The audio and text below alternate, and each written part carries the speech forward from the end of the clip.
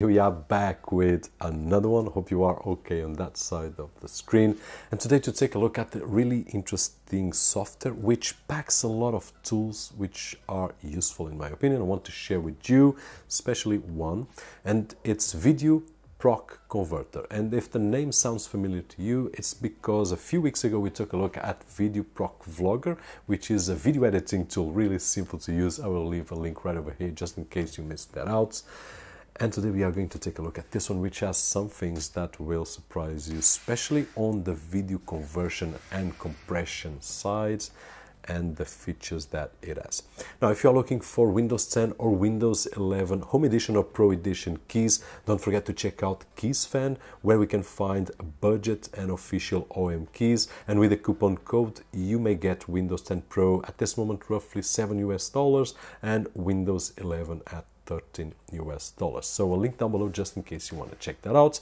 And also the link down below for VideoProc Converter, which has a free version, which has a really interesting feature that I believe that it's great, which we can use videos up to five minutes. And you can see all the differences between the free and premium. But if you work with smaller videos, you will be just fine. We tried out Windows and Mac available for all the platforms. Actually, I did test out on my Mac and I also tested out right over here. But the renderings I did with my RTX 3060, which is a GPU that it's more common uh, instead of the M1 Pro or the M1 Max and so on and so forth. Now, really quickly, this software promises to do a lot of stuff. First of all, it promises to compress videos using GPU and CPU acceleration. Doesn't matter if it's AMD, NVIDIA or Mac, it will work on any CPU.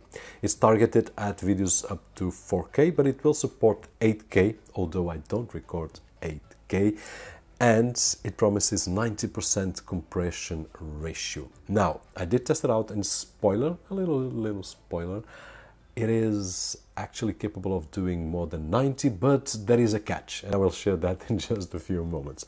Besides that, it also has a few tools for basic video editing and also has some tools for advanced video edit, such as image stabilization and a few others that I will share in just a few moments. But video stabilization was the one that captured my attention, which is great. We did review a few days ago this new Sony ZV-1 F and one of the situations is as you could see the stabilization of the camera. Now with the video proc converter we can use that to stabilize that footage or from any other camera.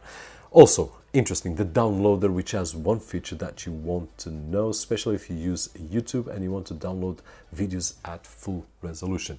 And finally it also records the screen or the web camera that we have now the interface it's really easy so you can just install on your Mac or your Windows and you will have the same interface that I've got right over here. It will tell us four options. We want to use video, DVD, downloader or recorder. Let's start with the video which is the one that interests me more for compression and conversion. And once we open that we will be able to import any video to the inside. And once we have the video right over here we will have several options. On the top we will see add video, add folder, add music clear the library, and then on the bottom we'll have the target format, which we can select by the most popular, the type of videos, the type of device that I want to target, if I want to turn a video into music, and if I want to use the toolbox. Now, the toolbox basically is where we will find more advanced uh, tools like the D-Shake, which is the stabilization tool, and we also have denoise, merge, trim, split, and so on and so forth. So we have a lot of options right over here. If we open the options of the video, once we select the format that we want, then we can select as well some options and we can uh, see right over there, we can change the quality, we can change the video codec, the frame rate, resolution, audio codecs and so on and so forth. So we can do a lot right over here, but I would suggest that here we can keep it simple and just, if we adjust the quality, the software will do everything else for us, so we don't need to worry about. We just need to check which is the limit on the quality that we will not lose image quality, at least on our eyes. And that is great. I will share with you right uh, in a few moments. We also have the edit video option right over here, which has some basic tools to edit uh, video like rotate left, rotate right, and so on and so forth. The effects, which will change the colors, brightness, contrast, and so on and so forth. We can also add subtitles files like us SRT files and sub files. We can trim the video uh, for the uh, length that we want. We can crop the video as well, and we can add a watermark. And in terms of results, which is the most interesting part in terms of the conversion and compression, because conversion, we can convert basically any video format into any other video format that we have right over here, which basically are all of them available right now.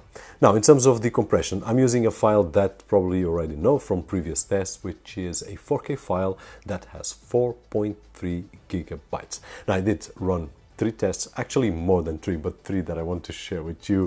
One of which I did lower the quality to see how much compression and quality I would get, and I was surprised that I was able to get more than 90%, turning a 4.3 gigabytes into 61 megabytes, and that was awesome. But there is a catch. When I did open the file, we do notice a quality loss, which is obvious. It's a huge file and turning it into a really small file, that would be crazy. Now, I do believe that if we lower the resolution, then probably we will maintain that and we could get roughly 60 megabytes without limiting the quality. But that was not the case that I did test.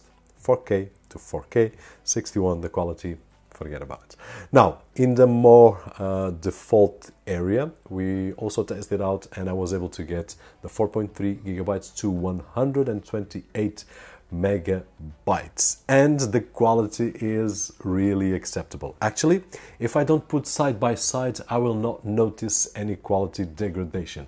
But when i put side by side what i do notice especially on my face is that the original file has a more sharpened image and that the compressed file is a little bit more soft. It reminds me that beautify filter that we can find on any app or any phone which makes our skin a little bit softer so if you're looking for a filter and you want that type of image then this will be nice.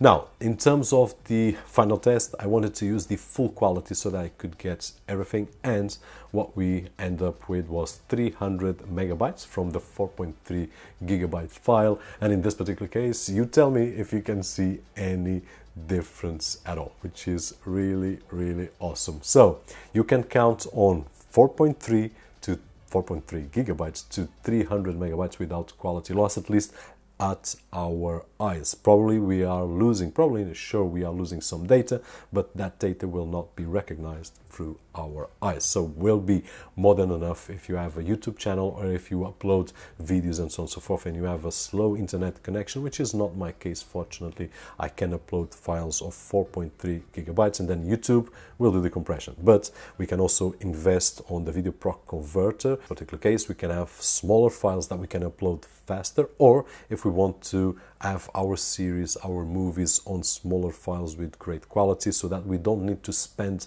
so much on space, on storage, then this is also a great option. So the results were really, really nice. Also, the recorder is, I believe, a added value for this software because in my opinion, this should be only video compression and video conversion, but uh, Video Proc right over here was able to put all these details, including the recorder, which it is a great tool. We can record our screen, we can record our face if we have a webcam so that we can do streams and so on and so forth, and this is great. I forgot to mention, but if we have a lot of episodes from one series or a lot of movies, what we can do also is to put them on batch and just leave them overnight, and when we wake up, we'll have all the movies converted. Not really sure if I did mention the DVD, but the DVD is able to rip uh, Uh, DVD content or Blu-ray content from our own DVDs to a video format that we can put to our hard drive and then use any uh, software to read our multimedia library. And that being said, hope that this video was helpful in some way. And if it was, don't forget the usual thumbs up right over there. My name is Roberto Jorge. This is the Video Proc Converter, which is really interesting as you could see. Link down below for the free trial version so that you can test all the features and then decide for yourself if you need the software or not. As always, I'll see you guys on the next one.